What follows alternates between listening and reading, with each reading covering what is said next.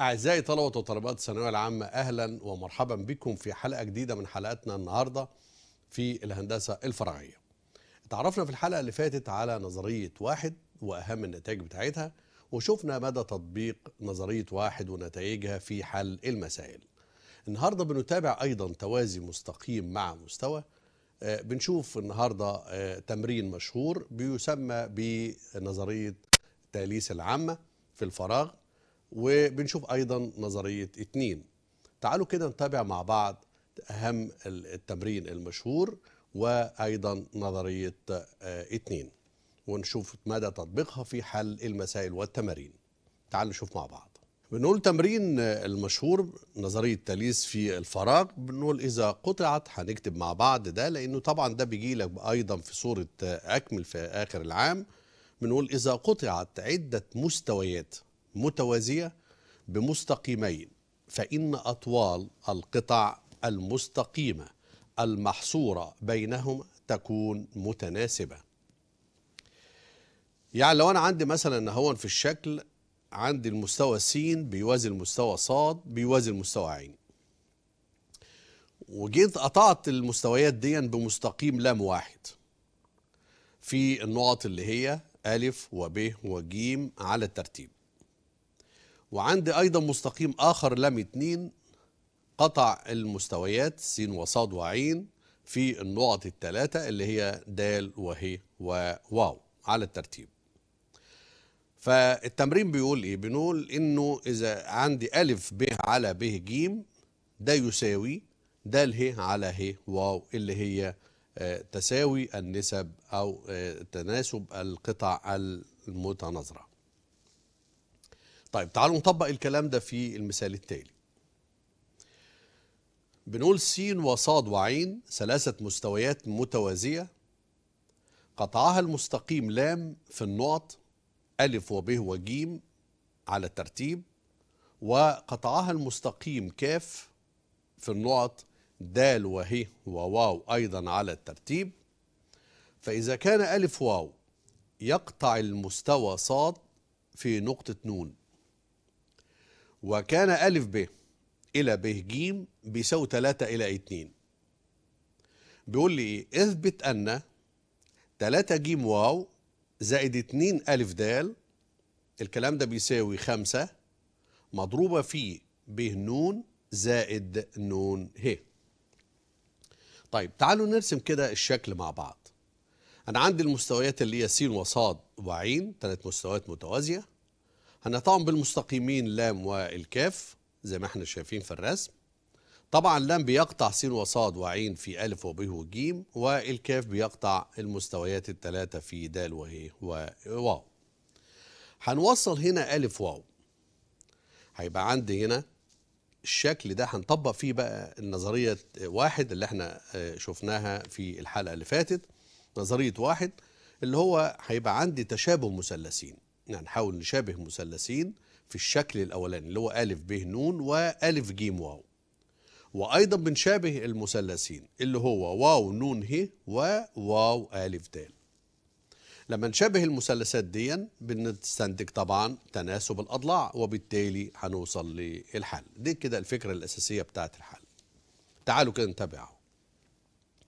هنقول عندي ألف ج وألف واو دول بيكونان مستويا بيقطع المستويين المتوازيين اللي هو صاد وعين. في ب ن وج واو. هنستنتج من كده إيه؟ نستنتج إن ب ن هتوازي ج واو. وبالتالي يبقى أنا عندي في التوازي بيتبعوا تشابه مثلثات. يبقى معنى كده إنه هيبقى عندي المثلث ا ب ن هيشابه المثلث ا ج واو. طيب تعالوا نكتب النسب مع بعض. وأشوف النسب اللي هي المطلوبة في حل المسائل. ما أنا عندي هنا ثلاث نسب زي ما إحنا عارفين في من التشابه فأنا باخد النسبتين اللي هم يعنوني في أو المعنيين في حل التمرين. فعندي يبقى ب ن على ج واو هيساوي النسبة اللي هي أ ب على أ ج.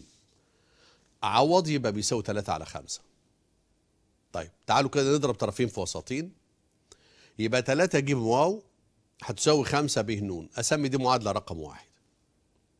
وبالتالي يبقى عندي المثلث اللي هو واو نون ه ده بيشابه المثلث واو ألف د طيب نكتب النسبة مع بعض. يبقى عندي ألف د على نون ه هيساوي ألف واو على نون واو هيساوي ألف جيم على ب جيم وبالتالي هيساوي خمسة على اتنين لما نعوض بالأطوال اللي موجودة في المثال. طيب تعالوا نضرب كده طرفين في وسطين يبقى اتنين ألف د هيساوي خمسة نون ه. ده أسمي دي رقم اتنين.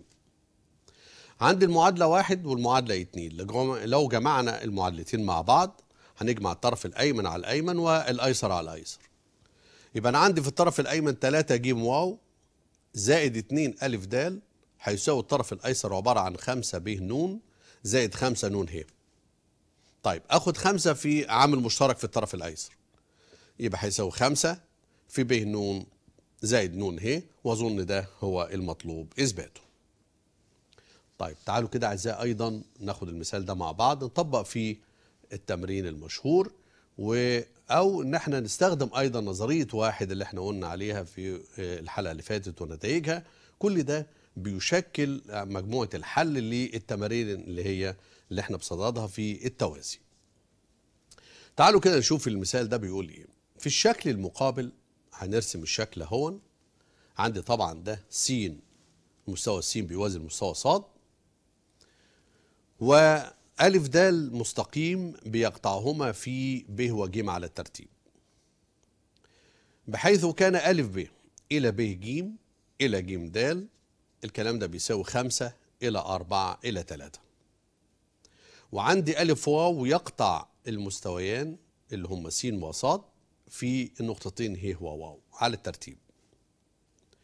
وعند أيضا مستقيم د ن بيقطع المستويين صاد وسين في ميم ونون على الترتيب.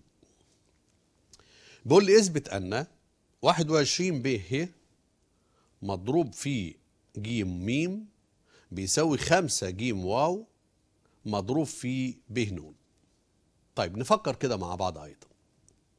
يعني نستخدم النسبة بتاعت التمرين المشهور يا إما هنستخدم هنا عملية التوازي ونستخدم فيها التوازي ده حي طبعا بيدل على أو بنستنتج منه عملية تشابه المثلثين وبالتالي نكتب النسب بتاعتنا ونوصل للحل إن شاء الله.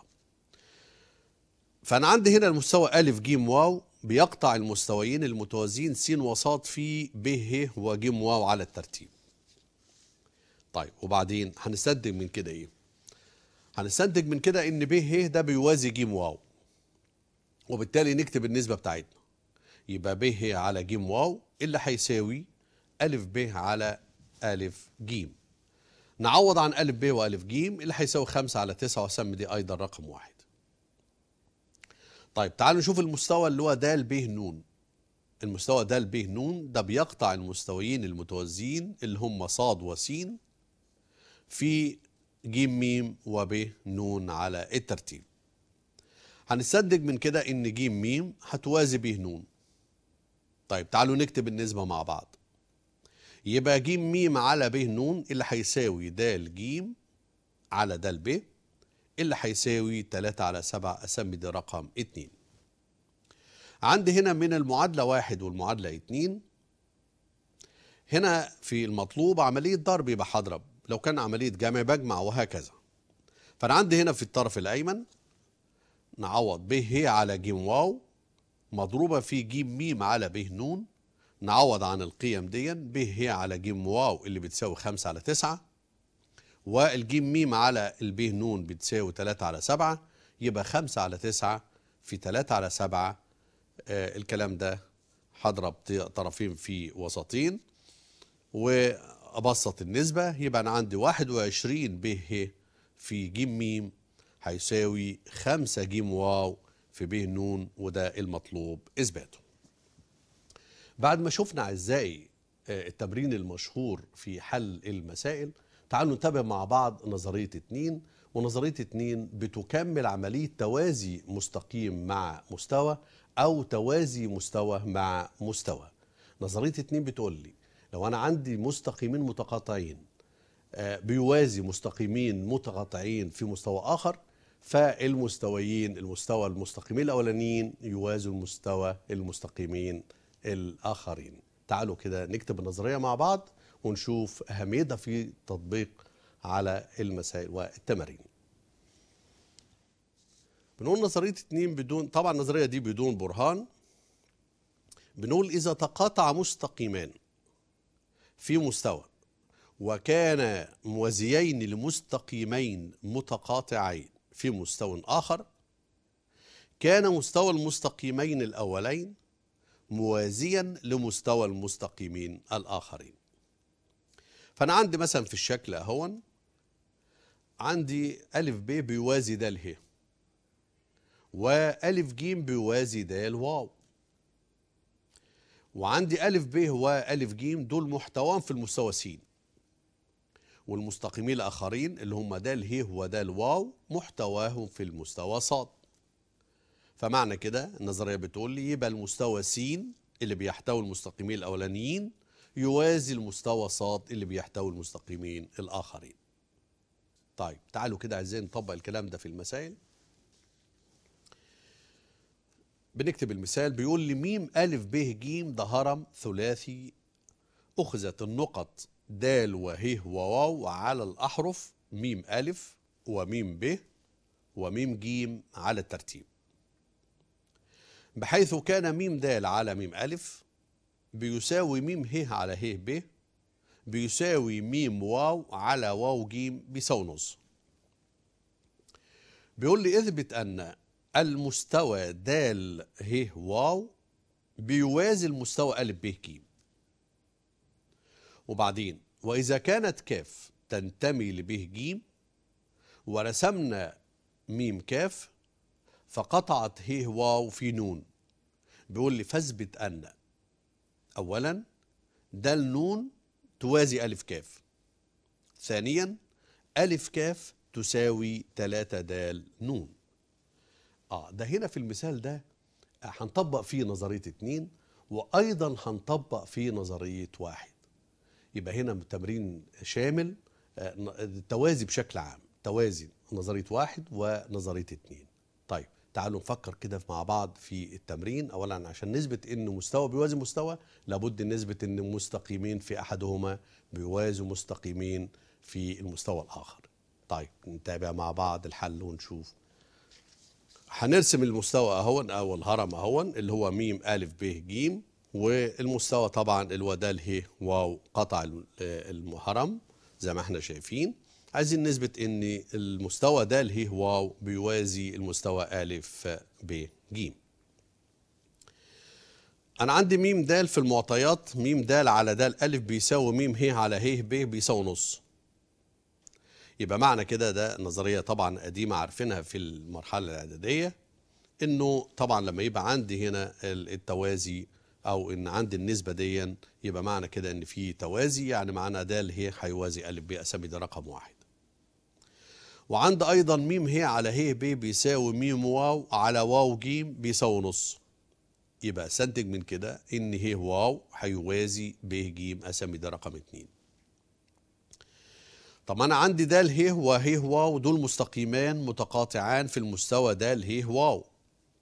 اسمي دي رقم ثلاثة وأيضا بنفس الطريقة إن ا ب وب ج دول مستقيمان متقاطعان في المستوى ا ب ج. اسمي دي رقم أربعة. يبقى من واحد واثنين وثلاثة وأربعة بنستنتج إنه عندي مستقيمين متقاطعين وبيوازي مستقيمين متقاطعين في مستوى آخر يبقى معنى كده إن هنطبق نظرية اتنين يعني المستوى الأول بيوازي المستوى التاني. وبالتالي يبقى المستوى د ه واو هيوازي المستوى أ ب ج طيب تعالوا كده نشوف المطلوب التاني. أنا عندي المستوى ميم ألف كاف قاطع للمستويين المتوازيين. في د نون وألف كاف. هتقول لي إيه؟ هتقول إنه يبقى د نون هيوازي ألف كاف. طيب من التوازي ده بنستنتج إيه؟ زي ما شفنا في الحلقة الماضية. من التوازي ده اللي هو د نون لما بيوازي ألف كاف يبقى معنى كده إن المثلث أ ميم د نون هيشابه المثلث ميم ألف كاف. ومن التشابه إحنا بنكتب النسبة نسبة تناسب الأضلاع. تعالوا نكتب كده تناسب الأضلاع.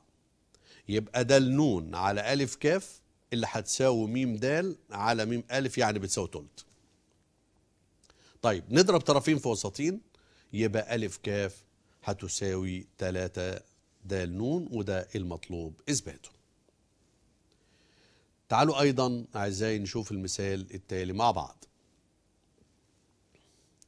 بيقول لي س وصاد مستويان متوازيان. ميم نقطة خارجهما.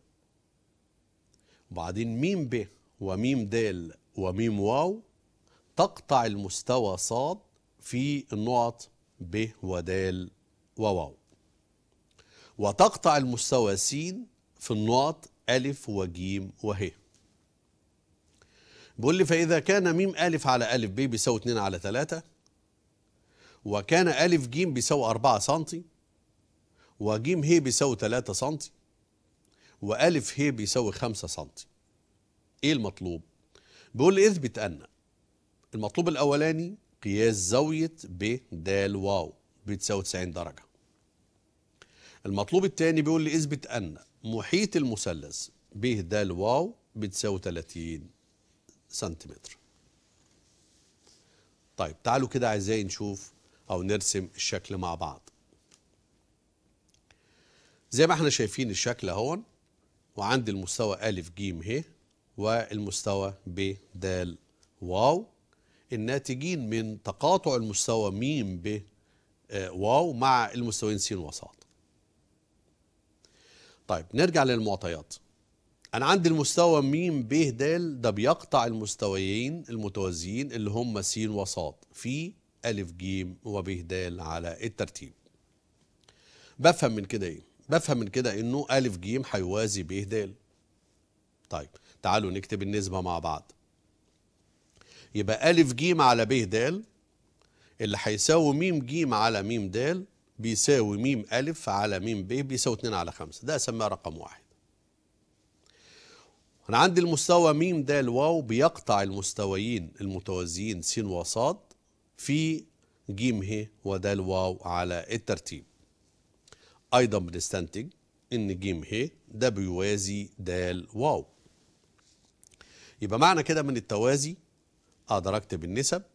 وطبعا التوازي إحنا عارفين إن هو مرتبط بيه يعني لما يوازي قطعتين مستقيمين بيوازوا بعض في مثلث يبقى معنى كده إني بستنتج إن المثلثين دول متشابهين وبالتالي ممكن نكتب النسبة على حسب التشابه. يبقى أنا عندي جيم ه على د واو هيساوي ميم ه على ميم واو. بيساوي ميم جيم على ميم د بيساوي 2 على 5 اسمي دي رقم 2 أيضا نقدر نثبت إن ألف ه بيوازي ب واو.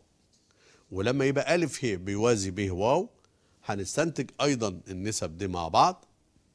نكتبها. يبقى ألف ه على ب واو. اللي هيساوي ميم ه على ميم واو بيساوي ميم ألف على ميم ب بيساوي أيضا 2 على 5 وسمي دي رقم 3 يبقى أنا عندي من واحد واثنين وثلاثة بنستنتج إنه ألف جيم على ب د بيساوي جيم ه على د واو بيساوي ألف ه على ب واو بيساوي 2 على 5 طيب ما تيجي كده نعوض بالأطوال اللي هي موجودة في المثال. هنعوض عن ألف جيم اللي هو بأربعة يبقى أربعة على ب د نعوض عن جيم ه اللي هو بتلاتة يبقى تلاتة على د واو. نعوض عن ألف ه اللي هو بخمسة يبقى خمسة على ب واو. بيساوي اتنين على خمسة. من هنا من هنا نقدر نحسب ب د ود واو وب واو. ب د ده هيساوي طرفين في وسطين يبقى 10 سم د واو هيساوي سبعة ونص سنتي. والب واو بيساوي 12 ونص سنتي. طيب أنا عندي هنا في من ممكن هنا زي ما إحنا شايفين نقدر نثبت أو نطبق نظرية فيثاغورس. إن أنا عندي ب د الكل تربيع زائد د واو الكل تربيع الكلام ده هيساوي 10 تربيع زائد سبعة ونص تربيع يعني بيساوي 156 و25 من 100 يبقى ب واو تربيع هيساوي 12 ونص تربيع أيضا بيساوي 156 و25 من 100 كده نقدر نطبق نظرية فيثاغورس. يبقى أنا عندي الضلع الأكبر مربع الضلع الأكبر بيساوي مجموع ضلعي المربعين أو مربع مجموع مربعي الضلعين الآخرين. وبالتالي يبقى ب واو تربيع هيساوي ب د تربيع زائد د واو تربيع اللي هي نظرية فيثاغورس. يبقى معنى كده إنه قياس زاوية ب د واو هتساوي 90 درجة وده المطلوب الأولاني. طيب تعالوا كده نحسب المحيط. محيط المثلث ب د واو اللي بيساوي طبعا مجموع أطوال أضلاعه. يعني هيساوي 10 زائد 7 ونص زائد 12 ونص اللي بيساوي 30 سم وده المطلوب التاني. طبعا واحد تاني يقول لي طب ما إحنا ممكن نحل بطريقة أخرى. آه في حل آخر وهو إنه إن أنا أثبت إن المثلث ا ج ه بيشابه المثلث ب د واو وبالتالي عندنا قاعدة مهمة جدا وهي إنه التشابه المساحة على المساحة بتساوي مربع الضلع على مربع الضلع المناظر ليه. والمحيط على المحيط بيساوي طول الضلع على طول الضلع المناظر ليه. طب ما إحنا ممكن نستخدم الحكاية دي. يعني ممكن يبقى محيط المثلث ا ج ه على محيط المثلث ب د واو بيساوي 2 على 5 أعوض عن عند محيط المثلث ا ب ا ج ه بيساوي 12 يبقى 12 سم على محيط المثلث ب د واو اللي هيساوي 2 على 5 أقدر أحسب محيط المثلث ب د واو مباشرة هيطلع نفس الناتج اللي هو 30 سم يبقى هنا يا شا- اعزائي بنعرف أو بنشوف مدى تطبيق نظرية واحد ونظرية اتنين وكذلك التمرين المشهور على حل المسائل. فناخد بالنا كويس جدا إن إحنا نثبت إذا كان في توازي آه، مستقيمين في مثلث في مثلث نقدر إن إحنا نثبت التشابه. ومن التشابه نقدر نثبت النسبة. وأيضا ناخد بالنا كويس جدا من العلاقة ما بين مساحة المثلث أو مساحتي النسبة بين مساحتي المثلثين المتشابهين بتساوي مربع النسبة بين ضلعين متناظرين فيهما وكذلك محي... النسبة بين محيطي المثلثين المتشابهين بتساوي النسبة بين طولي ضلعين متناظرين فيهما. دي مهمة جدا بنطبقها في المسائل. تعالوا نشوف أيضا المثال اللي جاي مع بعض. بيقول لي هنا ألف ب ج د ده هرم ثلاثي س وصاد وعين منتصفات ألف ب وألف ج وألف د على الترتيب. أولا نثبت أن المستوى س وصاد وعين يوازي المستوى ب ج د ثانيا بيقول لي اثبت أن المثلثين س صاد عين وب ج د متشابهان. ثالثا إذا كانت مساحة المثلث س صاد عين بتساوي 30 سنتيمتر مربع فأوجد مساحة المثلث ب ج د هنرسم طبعا الهرم الثلاثي زي ما إحنا عارفينه. نرسم الهرم الثلاثي اللي هو أ ب ج د وطبعا عندي س وصاد وعين منتصفات الأضلاع اللي هي ألف أو الأحرف اللي هي ألف ب وألف ج وألف د على الترتيب. لما بيقول لي اثبت إن المستوى س صاد عين يوازي المستوى ب ج د ده المطلوب الأولاني.